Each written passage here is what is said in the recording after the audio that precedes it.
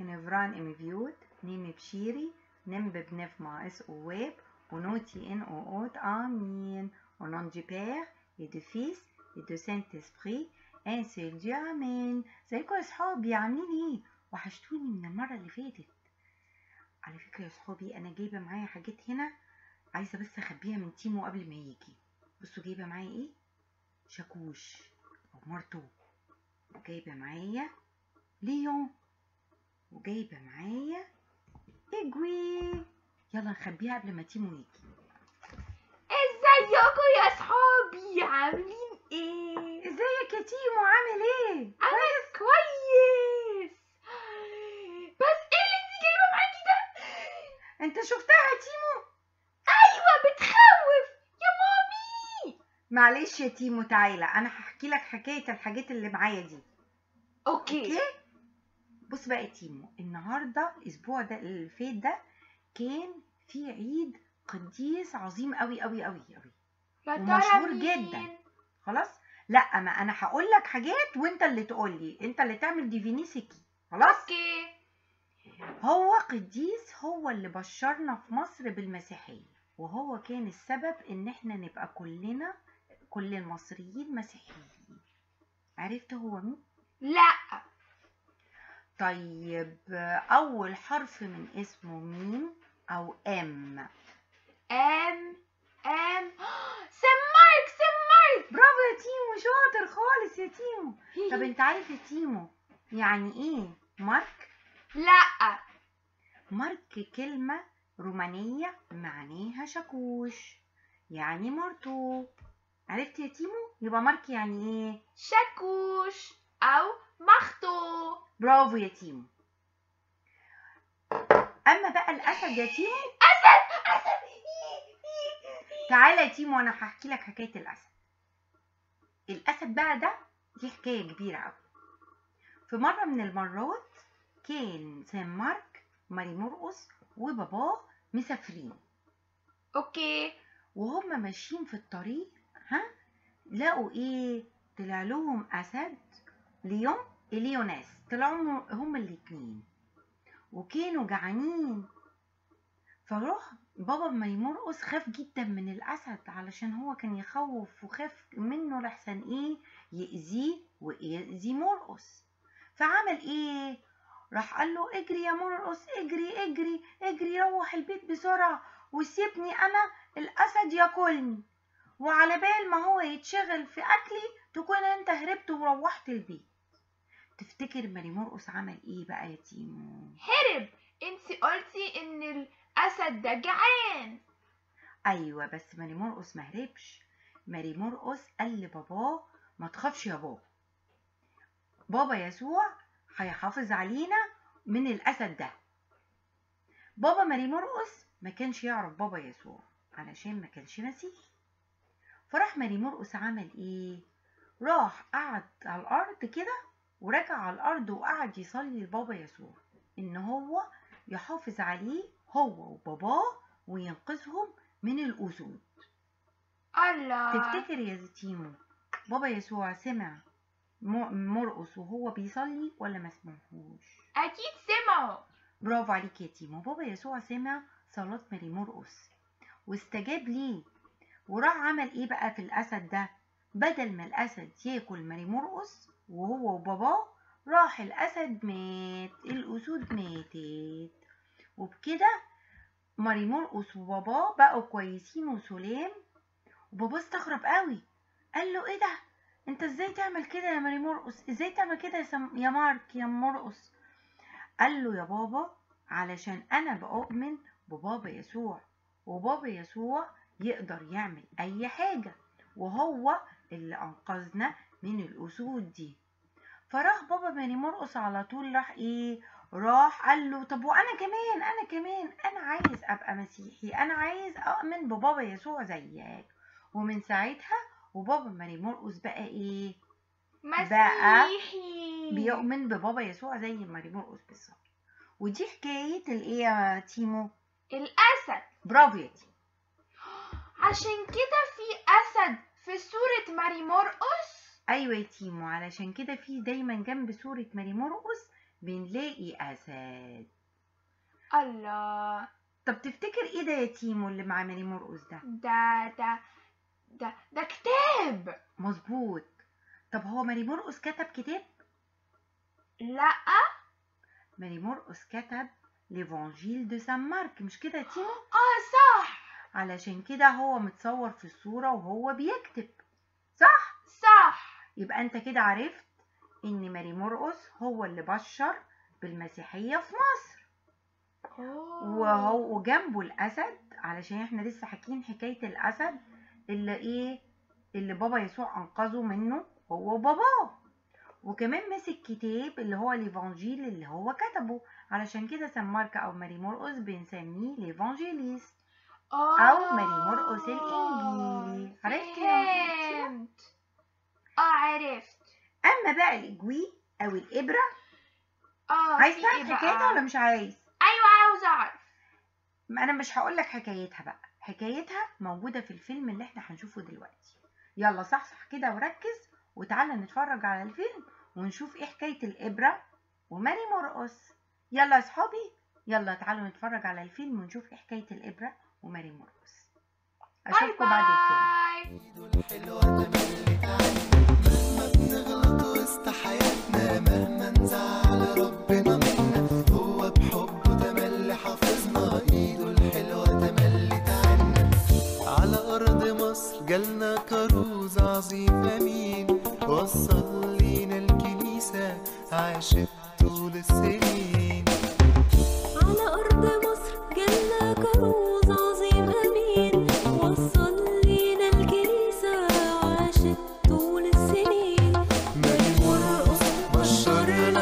kadar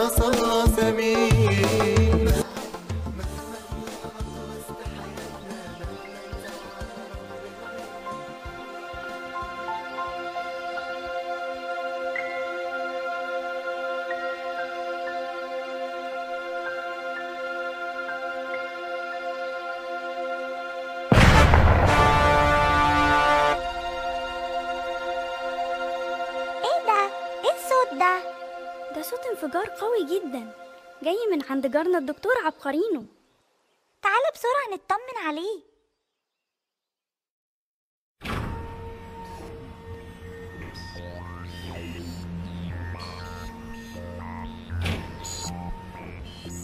أهلا. ازيكم يا أولاد إيه اللي جابكم النهارده؟ الانفجار. هو أنت كويس؟ امم الحمد لله. ده كان مجرد انفجار بسيط. إيه ده؟ إيه الحاجة اللي هناك دي يا دكتور؟ انت اخترعت صاروخ ولا إيه؟ آه دي. لا دي سفينة زمن. دي عن طريقها بنقدر نروح للماضي ونقدر كمان نسافر للمستقبل. كل اللي بنحتاجه إننا نظبط الوقت اللي إحنا عاوزينه وتنقلنا هناك على طول. لكن للأسف هي السفينة لسه تحت التجربة. طب واخترعت ليه سفينة الزمن؟ أنا بحب تاريخ كنيستنا القبطية قوي. طول عمري نفسي أشوف أجدادنا اللي استحملوا السجن والآلام علشان حبوا ربنا وحافظوا على الإيمان الصحيح وتمسكوا بيه لآخر نقطة في دمهم. وأجدادنا كمان درسوا الكتاب المقدس. آه معلش أنا آسف يا ولاد. في لسه شوية حاجات محتاجة تتظبط. يلا يا كريستين نتفرج على سفينة الزمن من جوه.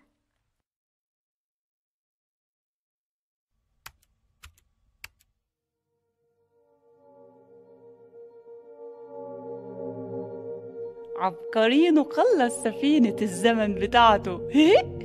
وأنا كمان خلصت. الفضل يرجع لي أنا.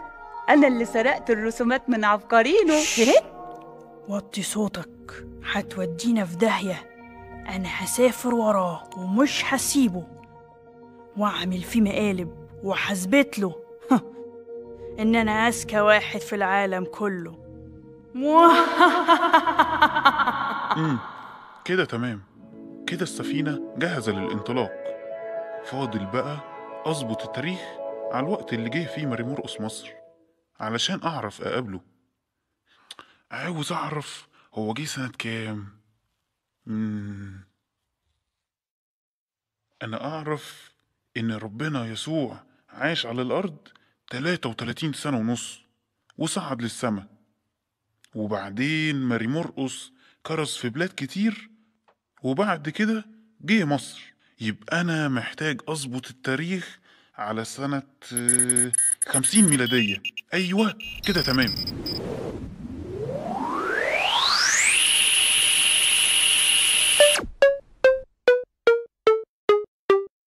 إيه ده؟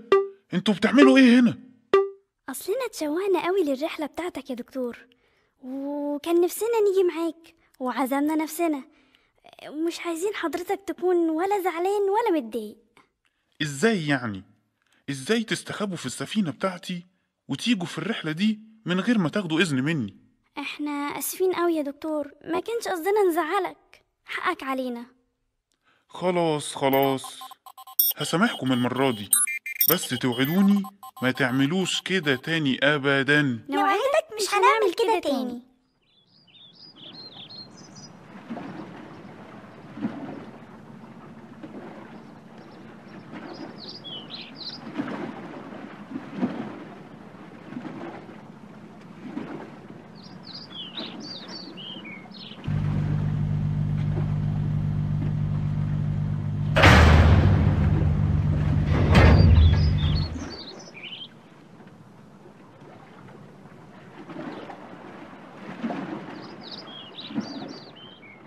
آه. هاي يا ريت تصلح سفينة الزمن بتاعتك دي يا دكتور. أحسن قطمت لنا ظهرنا. أنا آسف يا ولاد. ما أنا قلت لكم الأول. دي لسه أول مرة أجربها معاكم. شكلنا وصلنا صح. نفسي بقى أقابل أول واحد آمن بالمسيح في مصر على إيد ماري مرقص. وده كان اسمه إيه؟ كان اسمه إنيانوس. وكان بيصلح أحذية. معقولة؟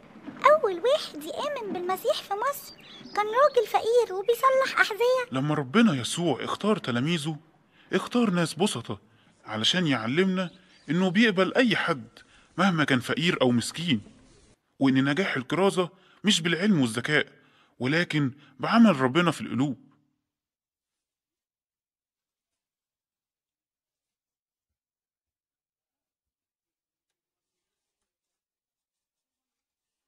يا ريت سفينة الزمن بتاعتك دي يا دكتور تكون مظبوطة علشان نشوف ماري مرقص.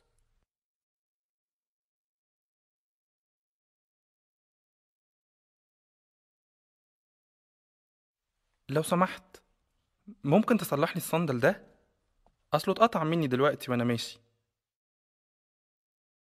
حاضر تحت أمرك. اتفضل استريح.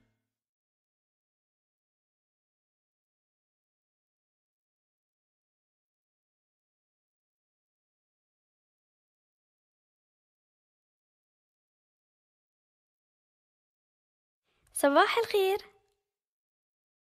أهلا وسهلا. اتفضلوا. أنا ما شفتكش قبل كده. حضرتك منين؟ أنا من الخمس مدن الغربية. أي أي أي المكراس دخل في إيدي. اشفيني يا الله الواحد. يا رب يسوع إحنا ولادك وملناش غيرك. وبنحبك جدا من كل قلبنا. أرجوك اتحنن وتمجد واشفي له إيده إيه ده؟ إيه اللي حصل؟ أنت كنت بتصلي لمين؟ وإزاي شفيت إيدي؟ أنا صليت لربنا الله الواحد الإله الحقيقي هو اللي شفاك تحب أحكي لك عنه أنت تعرفه؟ أنا مش بس أعرفه أنا شفته وهو بيشفي المرضى وبيقوم موتى الله هو اللي خلق كل شيء السماء والأرض والزرع والمطر. وجه وعاش وسطنا واتصلب ودفع تمن خطايانا. بس آه، هو ليه عمل كل ده علشاننا؟ علشان بيحبنا جدا. ممكن أسألك سؤال لو سمحت؟ أنت ليه سبت بلدك وتعبت نفسك وجيت لغاية هنا؟ ربنا يسوع بعد ما قام من الموت ظهر لنا كتير قوي. لمدة أربعين يوم. وقبل صعوده قال لنا اذهبوا واكرزوا بالإنجيل للخليقة كلها. معقولة؟ أنا الخاطي ربنا عايزني أعيش معاه. أيوة ربنا عايز الجميع يخلصون وإلى معرفة الحق يقبلون. ربنا بيحبنا جدا وبيسامحنا مهما غلطنا. بس بشرط إننا نتوب ونعترف ونتناول. يلا بينا على البيت عندي. نفسي قرايبي وأصحابي وكل الناس يعرفوا ربنا الحلو ده. كفاية بقى سنين طويلة جدا وإحنا تحت عبودية الشيطان والسحر وعبادة الأوثان. أنا تعبت من كل ده.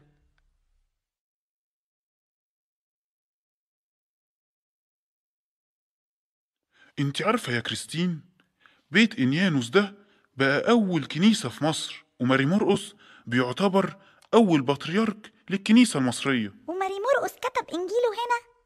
فعلا.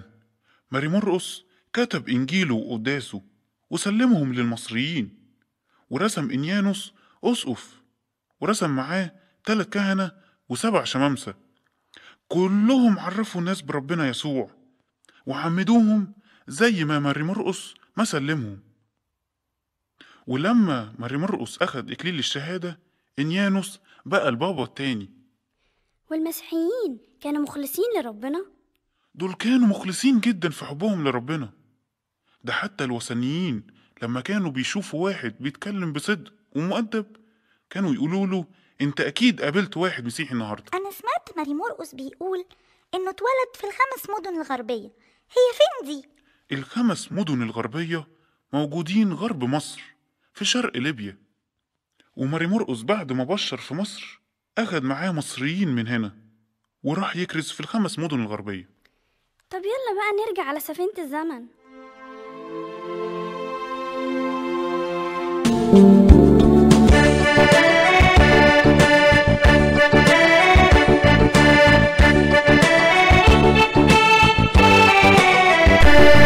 أنا السمكة تبتي وهعلمكم ابتي.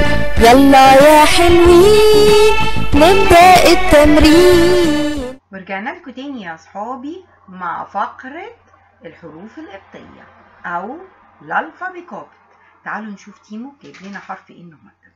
L'alphabet copte, frères et sœurs, apprenons-le tous par cœur.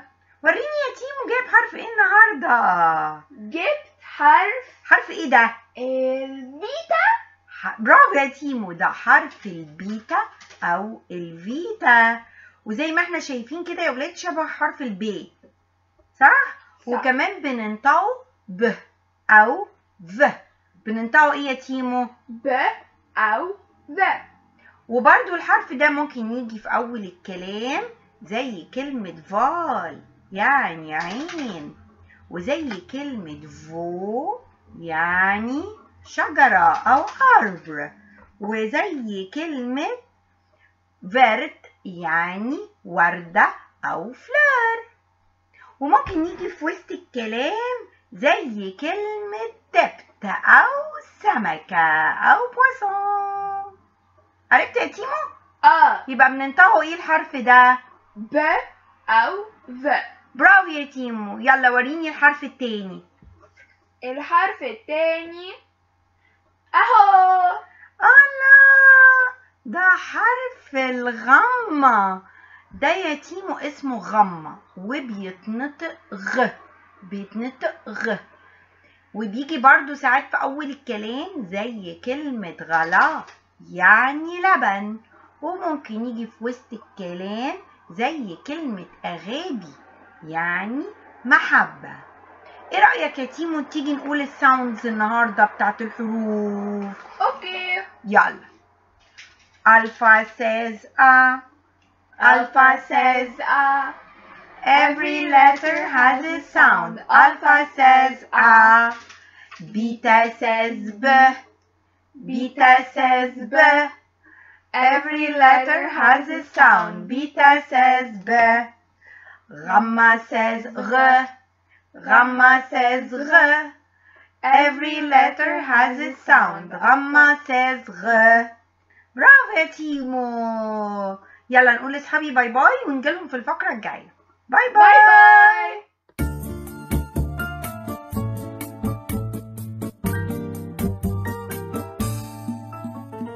واحد اتنين تلاتة أربعة خمسة ستة سبعة. كنيستنا اللي بيهم أحيا قول تاني واحد اتنين تلاتة أربعة خمسة ستة سبعة. هما دول أشرار كنيستنا اللي بيهم نحيا واخد سر المعمودية اللي في بغطس في المية تلات مرات في المية بيكون زي يسوع مكان مدفون واحد اتنين تلاتة أربعة خمسة ستة سبعة هما دول أشرار كنيستنا اللي بيهم نحيا التاني سن الميلون بعد معمودية يكون ستة وتلاتين رسمة جسمي روح ربنا يحفظ من سر واحد واحد تلاتة أربعة خمسة ستة سبعة هم دول أسرار كنيستنا اللي بيهم أحياء واحد سر المعمودية اللي فيه بغطس في المية تلات مرات في المية بكون زي يسوع مكان مدفون تلات مرات في المية بكون زي يسوع مكان مدفون واحد اتنين تلاتة أربعة خمسة ستة سبعة هم دول أسرار كنيستنا اللي بيهم أحيا. التاني سر المليون بعد المعمودية يكون. ستة وتلاتين رسمة في جسمي راح ربنا يحفظ ويصون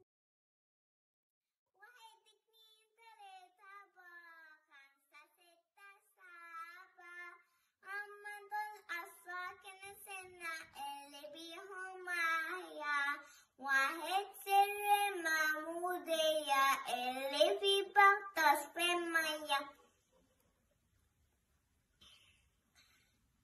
ثلاث مرات في المية بكون زي يسوع مكان مدفون واحد اتنين تلاتة أربعة خمسة ستة سبعة هم دول أسرار كنيستنا اللي بيهم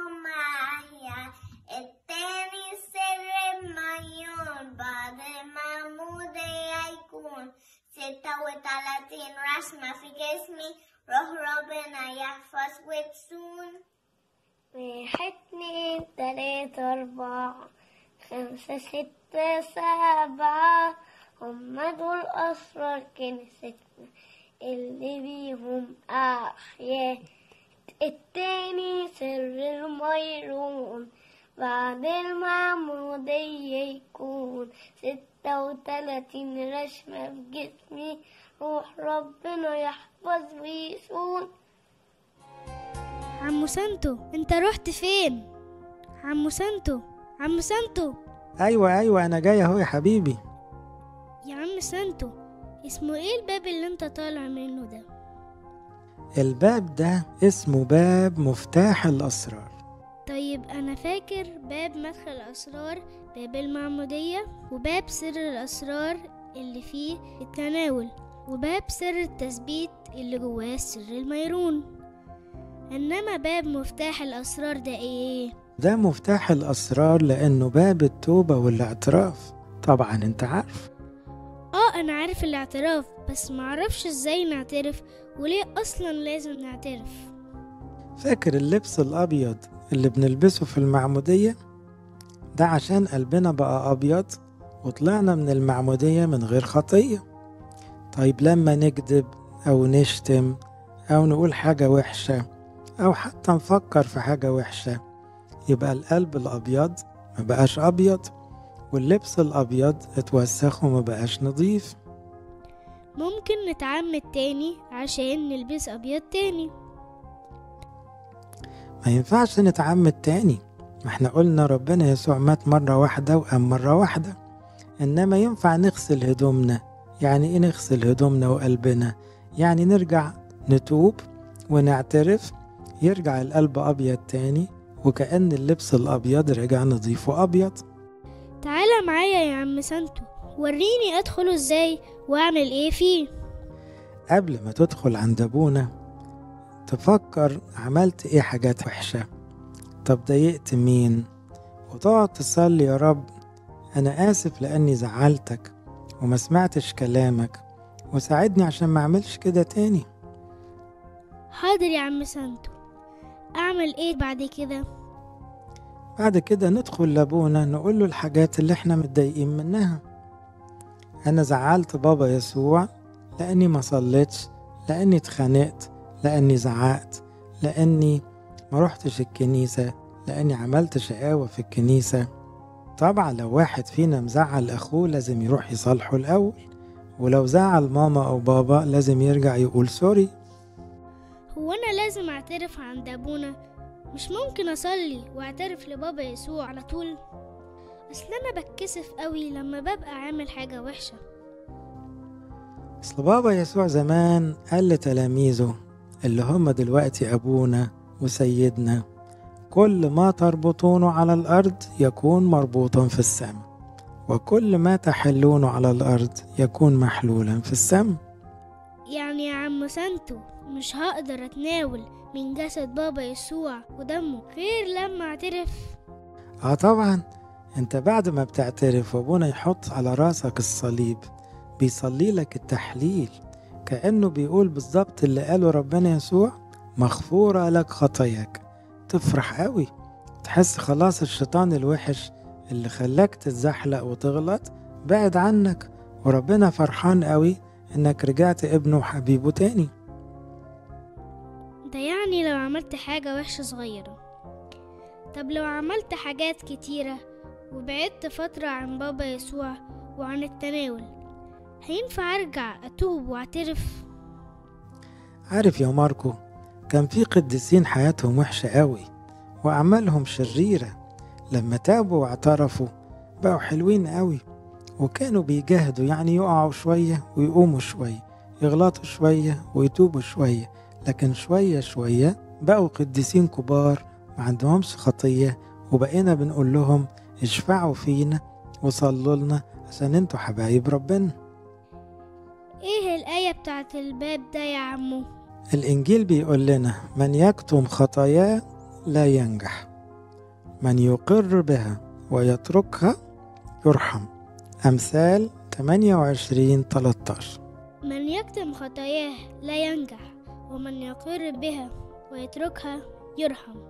أمثال 28 العدد 13 لا تسر الاعتراف علشان نبقى تملي نضاف. أروح لأبونا بعد ما توب أقول له على كل الذنوب. واحد اتنين تلاته أربعة خمسة ستة سبعة. هم دول اسرار